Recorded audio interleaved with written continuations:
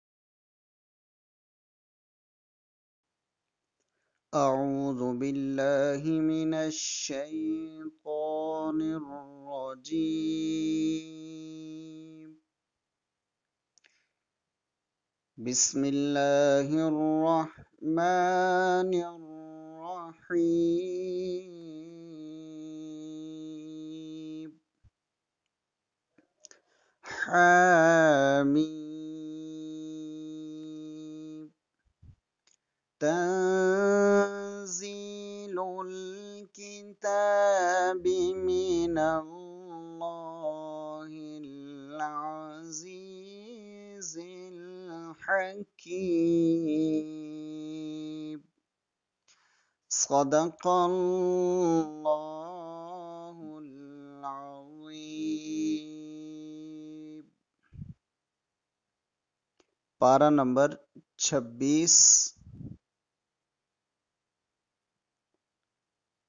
रुकू नंबर एक कुरान हकीम खुदाए अजीज व हकीम का उतारा हुआ है मगर आखिरत के मुनकर उससे रुख फेरे हुए हैं हालाँकि ये दुनिया खेल नहीं, बल्कि इसे अल्लाह ताला ने एक अजीम मकसद के लिए पैदा फरमाया है। ज़रूरी है कि एक दिन उसकी मुद्दत पूरी हो और उसका अंजाम ज़ाहिर हो। मुशरक धोखे में है कि उनके मबूदान बातिल उन्हें क़यामत के दिन बचा लेंगे। हालाँकि उनका अल्लाह की हकूमत में कोई हिस्सा नहीं। और उन मुशरिकों के पास उनके मबूद होने की कोई दलील नहीं।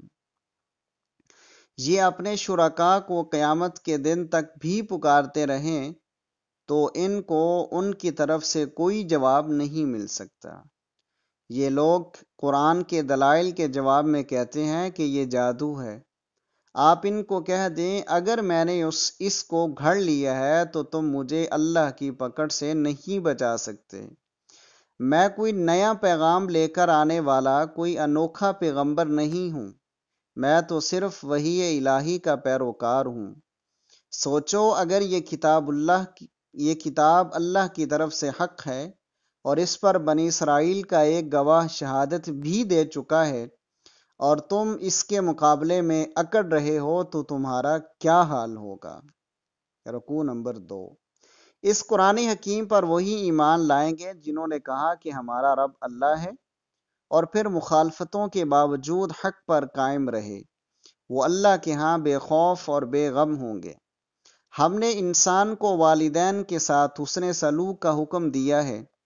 शरीफ तबा आदमी जब जवान होता है और 40 साल की उम्र को पहुँचता है तो रब से दुआ करता है कि ए मेरे रब, मुझे तौफीक दे कि मैं तेरी इन नेमतों का शुक्र अदा करूँ जो तूने मुझ पर की हैं। और उन नेमतों का जो तूने मेरे माँ बाप पर की हैं। और मुझे तौफीक दे कि ऐसे अच्छे काम करूँ जो तुझे पसंद हूँ और मेरी औलाद को नेक बना दे। मैंने तेरी तरफ़ रजू किया और मैं मुसलमान हूँ। ऐसे लोगों के अच्छे अमाल खुदा के यहाँ मकबूल हैं। उनकी गुनाहों, उनकी कुताहियों और गुनाहों से दरगुजर फरमाया जाएगा। ये यकीनन जन्नती हैं। और वो शख्स जो अपने माँ बाप से कहता है कि, अफसोस तुम पर, तुम मुझे क़यामत से डराते हो, हालाँकि मुझसे पहले सैकड़ों कौमें गुजरी और कोई दोबारा ज़िंदा होकर नहीं आया। उसके वालिदैन रब से फरियाद करते हुए कहते हैं, अफसोस है तुझ पर, ईमान ले आ। तो वो कहता है कि ये तो पहलुओं के मन घड़त किस्से हैं। ऐसे लोगों पर अल्लाह का फैसला पूरा हो चुका है। हर शख्स के दराजात उसके अमल के मुताबिक होंगे और काफिरों से कह दिया जाएगा, तुम अपना हिस्सा दुनिया में पा चुके हो, यहाँ तुम्हें अजाब इलाही से दो चार होना पड़ेगा। रुकू नंबर तीन। ए मोहम्मद करीम वसलाम आप इनको हज़रत हूद का ज़िक्र सुनाइए। जब उन्होंने अपनी कौम को खबरदार किया कि अल्लाह के साथ इबादत में किसी को शामिल न करो, वरना तुम पर आज़ाब आ जाएगा। कौम ने कहा, अगर तू हम पर आज़ाब ला सकता है तो ले आ। हूद अलैहिस्सलाम ने फरमाया, अजाब कब आएगा? उसका इल्म तो अल्लाह ही को है। मैंने तुम्हें अल्लाह का पैगाम पहुँचा दिया है। तुम मुझे जाहिल मालूम होते हो। अजाब आया तो उसने हर शय को नीस्तो नाबूद कर दिया। आज उनके मकानों के खंडरात के सिवा कोई चीज़ दिखाई नहीं देती। उनको हमने वो कुछ दिया था जो तुम लोगों को नहीं दिया है। उनको हमने कान, आँखें और दिल सब कुछ दे रखा था, मगर उनके कान किसी काम आए, ना आँखें, न दिल, क्योंकि वो अल्लाह की आयात का इनकार करते थे। रकू नंबर चार। आप सल्लल्लाहु अलैहि वसल्लम, इनको समझाइए कि देखो तुम्हारे इर्द गिर्द कितनी आबादियाँ खुदा की नाफरमानियों के बायस हलाक हो चुकी। उन लोगों को आयात भेजकर बार बार समझाया गया कि तुम हमारी तरफ़ लौट आओ। वो ना माने तो उन पर आजाब आया और उनके झूठे मबूद उनकी मदद को ना पहुँच सके। और ये वाक़ भी काबिल ज़िक्र है कि जब जिन्नों ने आप सल्लल्लाहु अलैहि वसल्लम से कुरान हकीम सुना तो फ़ौर ईमान ले आए और अपनी कौम की तरफ़ दाई व मुबल्लिग बन कर गए। हक पसंद जिन्नों ने फ़ौरन बात मान ली, मगर मुशरिकों ने मानने से इनकार कर दिया।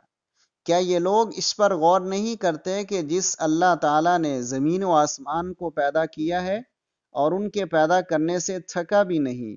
वो बुर्दों को भी ज़िंदा करने पर कादिर है। ये मुशरक आज नहीं मानते। जब आज़ाब सामने आएगा तो मान लेंगे। आप पहले उलुल पैगंबरों की तरह सब्र करें और आगाह कर दें कि नाफरमानों के सिवा और कोई हलाक न होगा। रकू नंबर पाँच से सोरह मोहम्मद सैतालीस नंबर का आगाज़ हो रहा है। मदनी है, रुकू चार हैं और अड़तीस आयात हैं। फरमाया, जिन लोगों ने कुफर किया और अल्लाह के रास्ते से रोका, अल्लाह ने उनके अमाल को ज़ाया कर दिया। और जो ईमान लाए और उन्होंने अच्छे काम किए, अल्लाह ने उनकी बुराइयाँ उनसे दूर कर दी और उनका हाल दुरुस्त कर दिया, क्योंकि उन्होंने हक का साथ दिया। ए ईमान वालों, जब दुश्मनों से तुम्हारा मुकाबला हो तो पहला काम उनको खूब कत्ल करना है, फिर कैदी बनाना है। उसके बाद कैदियों के बारे में तुम्हें इख्तियार है, चाहे उनके साथ एहसान का मामला करो, चाहे फिदिया लेकर छोड़ दो। ता आके फरीक मुखालफ हथियार डाल दे। अल्लाह ताला काफिरों से खुद भी निपट सकता था, मगर तुम्हारे ईमान की आजमाइश चाहता था। वो अपनी राह में जान देने वालों के अमल ज़ाया नहीं करेगा, वो उनको दुनिया व आखरत में अपने इनामात से नवाजेगा। अगर तुम अल्लाह के दीन की मदद करोगे तो अल्लाह तुम्हारी मदद करेगा और तुम्हारे कदम जमा देगा। काफिरों के लिए हलाकत मुकद्दर है। ज़मीन में चल फिर कर देखो कि उनसे पहले काफिर किस तरह हलाकत का शिकार हुए हैं। रकू नंबर छः। अल्लाह ताला ईमान वालों और अच्छे काम करने वालों को जन्नत का मुस्तहिक बनाएगा। काफिर दुनिया की चंद रोजा ज़िंदगी के मज़े लूट रहे हैं। जानवरों की तरह खा पी रहे हैं, इनका आखिरी ठिकाना जहन्नुम है। मक्का के काफिरों से कहीं ज़्यादा ताकतवर काफिरों को हम हलाक कर चुके हैं। उनकी मदद को कोई ना आया। अल्लाह के यहाँ अच्छे और बुरे बराबर नहीं हो सकते। जन्नत में ईमान वालों के लिए साफ़ शफाफ पानी दूध लजीज मशरूब और साफ़ शहद की नहरें होंगी। काफिर हमेशा दोजख में रहेंगे। खोलता पानी पिलाए जाएँगे, जो उनकी अंतड़ियाँ काट कर रख देंगे। मुनाफिक आपकी बात सुनी अनसुनी कर रहे हैं। दर हकीकत उनके दिल हक को कबूल करने से बंद हो चुके हैं। ये लोग ख्वाहिशात के पैरोकार बन चुके हैं। शायद ये क़यामत के मुंतजर हैं। क़यामत की निशानियाँ तो आ गई। इनको मालूम होना चाहिए कि जब क़यामत आएगी तो उस वक्त ईमान लाना किसी काम ना आएगा। आप यकीन रखें कि अल्लाह के सिवा कोई मबूद नहीं। आप अपने लिए भी और मोमिन मर्दों और औरतों के लिए भी अल्लाह से मगफिरत तलब करते रहें। रकू नंबर सात। ईमान वालों की ख्वाहिश थी कि अल्लाह ताला की तरफ़ से जिहाद का हुक्म नाजिल हो। जिहाद का हुक्म उतरा तो मुनाफिकों पर मौत की गशी तारी होने लगी। अगर उन मुनाफिकों ने उसी तरह जिहाद से मुँह मोड़ा तो ये लोग उल्टे उसी दौरे जहलीत की तरफ़ फिर जाएँगे, जिसमें एक दूसरे के गले काटे जाते थे और बच्चियों को ज़िंदा दरगोर कर दिया जाता था। ये लोग कुरान मजीद पर गौर नहीं करते। क्या उनके दिलों पर ताले लग गए हैं? सही रास्ता मालूम कर लेने के बाद हिदायत से मुँह मोड़ने वाले शैतान के धोखे में आ गए हैं। इसीलिए उन्होंने मुसलमानों में शामिल रहकर काफिरों के साथ साजबाज कर रखी है। उस वक्त क्या नक्शा होगा जब फरिश्ते उनकी जान निकालेंगे, उनके मुँह और पीठों पर मारते हुए उन्हें ले जाएँगे? क्योंकि उन्होंने अल्लाह ताला की नाराज़गी का रास्ता इख्तियार किया था, इसलिए उनके सारे अमल ज़ाया हो गए। रकू नंबर आठ। क्या मुनाफिकों का ख्याल है कि अल्लाह ताला उनके दिलों के खोट नहीं ज़ाहिर करेगा? अगर हम चाहें तो उनके खोट ऐसे ज़ाहिर कर दें कि हर शख्स उनको उनके चेहरों से पहचान ले। आप उनके अंदाजे कलाम से उनको जान लेंगे। हम मोमिनों और मुनाफिकों को अलग अलग करने के लिए तुम्हें ज़रूर आजमाइश में डालेंगे। काफिर अच्छी तरह सुन रखें कि वो अल्लाह का कुछ भी नहीं बिगाड़ सकते। ईमान वालों को अल्लाह और उसके रसूल की अतात करनी चाहिए। जिनकी मौत कुफर पर होगी, वो किसी तौर पर भी बख्शिश के मुस्तक नहीं होंगे। ईमान वालों कमज़ोरी ना दिखाओ और सुलह की दरख्वास्त न करो। तुम ही गालिब होंगे, क्योंकि अल्लाह तुम्हारे साथ है। ये दुनिया बिल्कुल आर्जी शय है। तुम ईमान लाओगे और अल्लाह से डरोगे तो वो तुम्हें बड़ा अजर देगा और तुमसे कुछ नहीं मांगेगा। याद रखो, अल्लाह की राह में बुखल करने का नुकसान तुमको होगा। अल्लाह ताला गनी है और तुम मोहताज हो। अगर तुम उसके हुक्मों की खिलाफ वर्जी करोगे तो वो तुम्हें ख़त्म करके तुम्हारी जगह दूसरी कौम ले आएगा और वो तुम्हारी तरह नहीं होंगे। रकू नंबर नौ से सूरह अल का आगाज़ हुआ है, अड़तालीस नंबर है। मदनी है, चार रकू है और उनतीस आयात हैं। अल्लाह ने आप सल्लल्लाहु अलैहि वसल्लम को खुली फतह अता फरमाई, ताकि वो आपकी हर कोताही से दरगुजर फरमाए। आप पर अपनी नियामत की तकमील फरमाए और आपको सीधा रास्ता दिखाए और आपको ज़बरदस्त कामयाबी दे। अल्लाह ताला ने हुदैबिया के मकाम पर मोमिनों के दिलों को इत्मीनान आता फरमाया, ताकि उनके ईमान में इजाफा हो, उनकी गलतियाँ दूर हो जाएँ और ईमान वाले मर्दों और औरतों को हमेशा की जन्नत आता फरमाए और मुनाफिकों, मुशरकों को सख्त सजा दे। ए पैगंबर सल्लल्लाहु अलैहि वसल्लम, हमने आपको शहादत देने वाला, बशारत देने वाला और खबरदार करने वाला बनाकर भेजा है, ताकि तुम अल्लाह और उसके रसूल पर ईमान लाओ, उसका साथ दो और सुबह शाम अल्लाह की तस्बीह करते रहो। याद रखो कि रसूल की बैत खुद अल्लाह के साथ बैत है। जो नबी की बैत करके आहत शिकनी करेगा, उसका अंजाम बहुत बुरा होगा। और जिसने अल्लाह से किया हुआ वादा पूरा किया वह उसे अन करीब अजर अजीम देगा। रकू नंबर दस। हुदैबिया में शिरकत न करने वाले देहाती आपकी मदीना में तशरीफ़ आवरी पर बहाना बनाएँगे कि हम आपके साथ न जा सके। बहुत अफसोस है। दरअसल हम अहलो अयाल और मालो दौलत की मसरूफियतों में लग गए थे। ये उनके झूठे बहाने हैं। उनको खुदा के आजाब से कोई ना बचा सकेगा। दरअसल उन मुनाफिकों का ख्याल था कि अब मुसलमान लौट कर ना आएँगे। अन करीब जब आप खैबर की मुहिम के लिए निकलेंगे तो ये मुनाफिक लोग आपके साथ चलने की इजाज़त मांगेंगे। क्योंकि वहाँ माले गनीमत मिलने की बहुत तो है। इनसे कह दें कि हम उस मुहिम में तुम्हें साथ ले जाने को तैयार नहीं। अल्लाह का हुक्म यही है। अलबत्ता अन करीब तुम्हें ऐसे लोगों से लड़ने के लिए बुलाया जाएगा जो बड़े ज़ोर आवर हैं। तुम उनसे जंग करते रहोगे या वो मुती हो जाएँगे।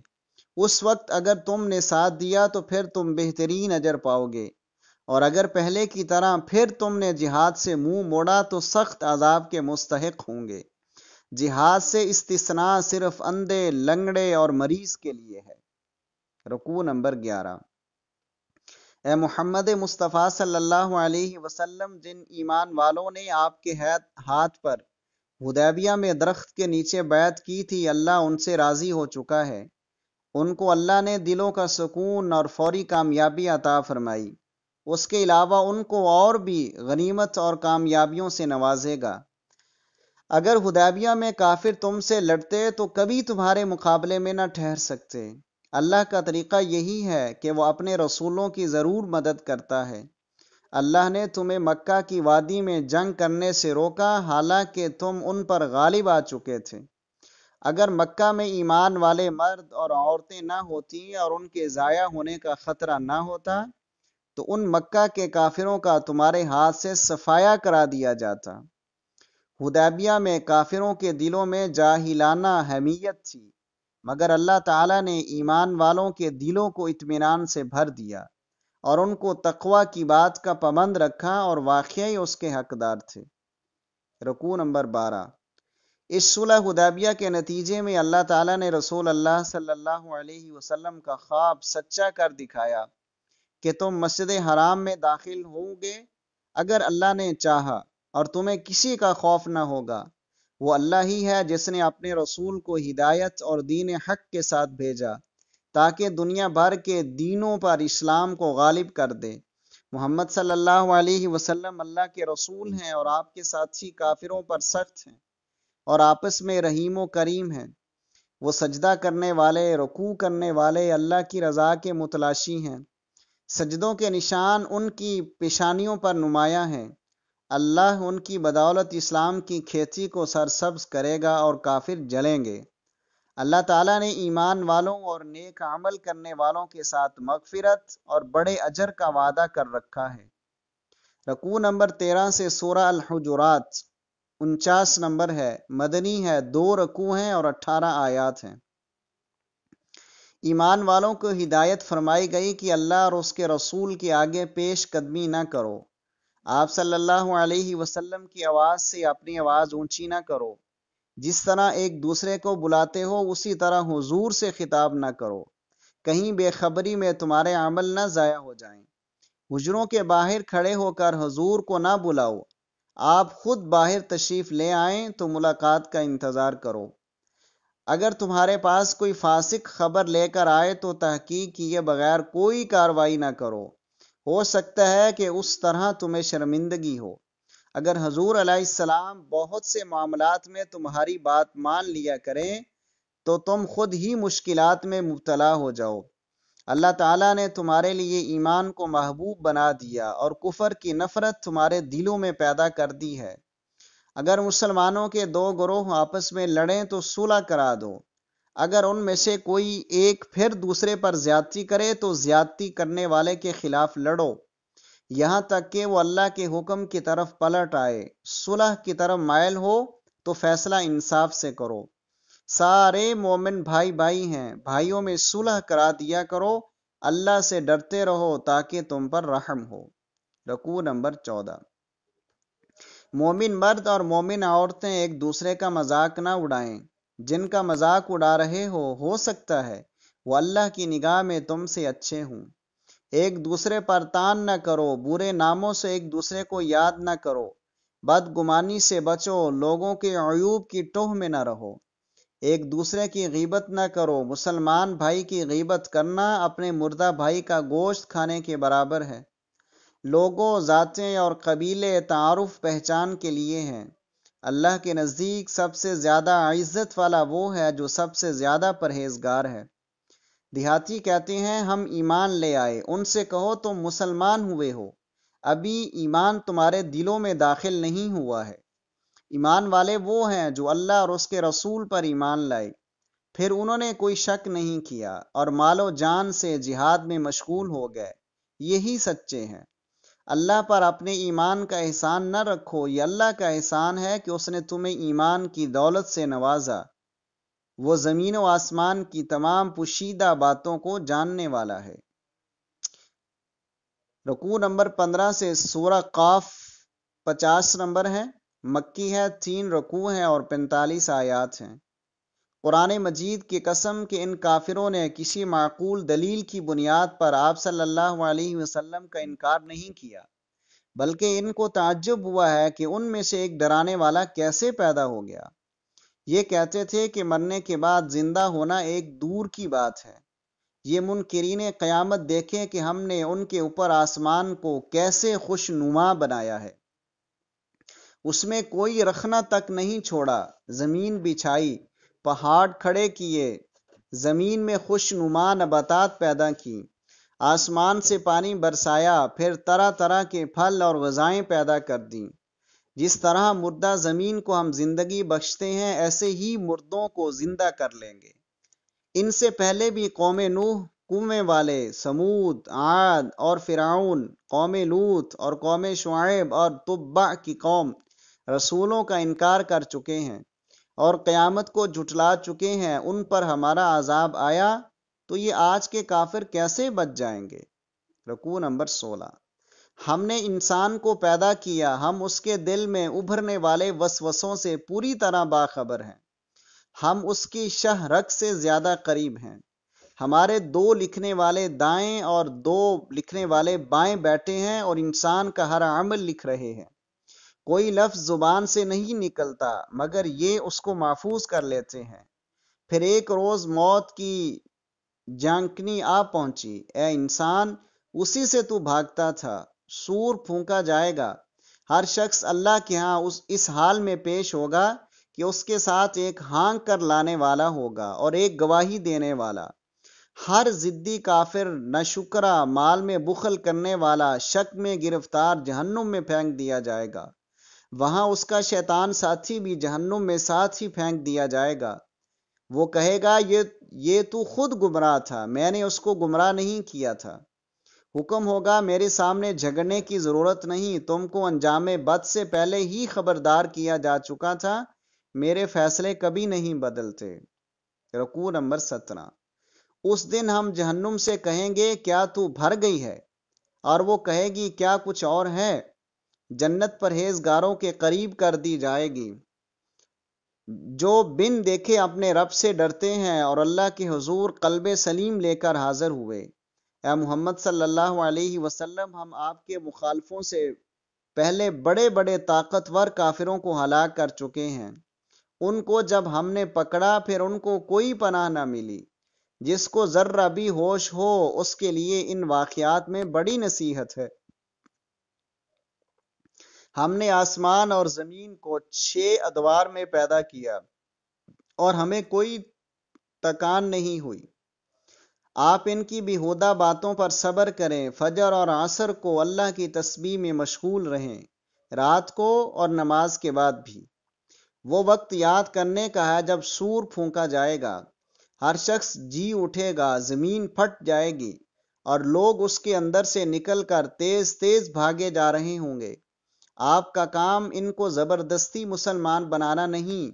आप कुरान मजीद के ज़रिए हर उस शख्स को नसीहत करें जो मेरी तंबीह से डरता है। रकू नंबर 18 से सूरह अजारियात का आगाज़ हो रहा है। ये इक्यावन नंबर है। मक्की है, तीन रकू हैं और साठ आयात हैं। फरमाया, हवाओं का चलना और उनसे बारिश का बरसना निशान है कि जिस चीज़ का तुम्हें खौफ दिलाया जा रहा है, वो सच्ची है। और जजाय आमाल ज़रूर पेश आएँगे। जन्नो तखमीन से काम लेने वाले हलाक हूँ। ये गफलत में पढ़कर आखरत को भूल चुके हैं। कहते हैं, कयामत कब आएगी? वो उस रोज आएगी जब ये लोग आग पर चलाए जाएँगे कि ये है वो जिसके बारे में तुम जल्दी मचा रहे थे। अल्लाह से डरने वाले उससे खुशी खुशी इनाम पा रहे होंगे। ये रातों को बहुत कम सोते थे। सहरी को उठ उठ कर बख्शिश मांगते थे। उनकी मालो दौलत में नादारों का हक था।